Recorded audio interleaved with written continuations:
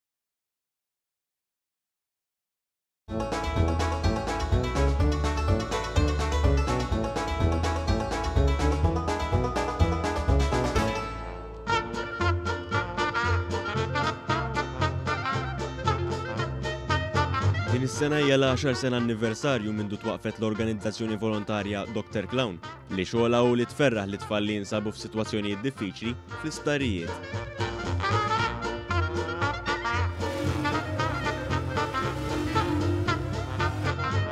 Dan l-anniversarju speċjali One News tkellem mal-President tal-organizzazzjoni Eric Muscat, kif ukoll il-psikologu ta' Dr. Clown, Dr. Edward Kurmi.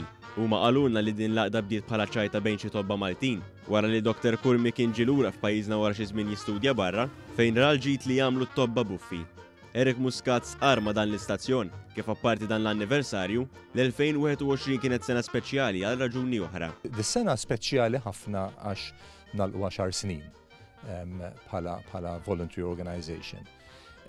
Dis-sena u s-sena l-oħra kienet speċjali ħafna għax kienet diffiċli pjuttost għax ma stajniex immorru l-isptar. Allura kellna nixxiftjaw eh, l-operat tagħna online, illi ovvjament għal Clown Doctors u għat-tfal mhijiex l-istess ħaġa, eh, però ftaħna orizzonti ġodda.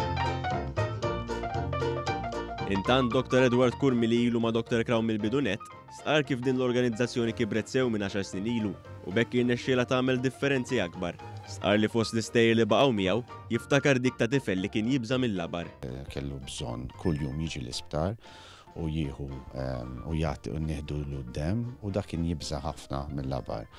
U f'dal-każ daħanna l-clowns magħna daħanna ċertu kreativita fis-sitwazzjoni ma' dat tifel u b'xi mod jew ieħor dat tifel mhux tal-li tal-li kienet jistennina kuljum.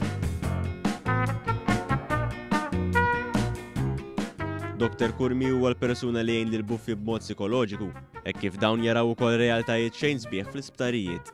Huwa għalaq b'appell lill-pubbliku. Nemmen ħafna li meta tagħti tirċievi hija xi ħaġa sabiħa, hija xi ħaġa li tista' tgħin il-ħaddieħor, m'hemm bżonn li tkun taf dik il-persuna x'għamlet eh, biha, ma li tagħti hija xi ħaġa li vera ittik sodisfazzjon minn ġewwa u riċerkaturi għad il-ħaġa bħal maturi wkoll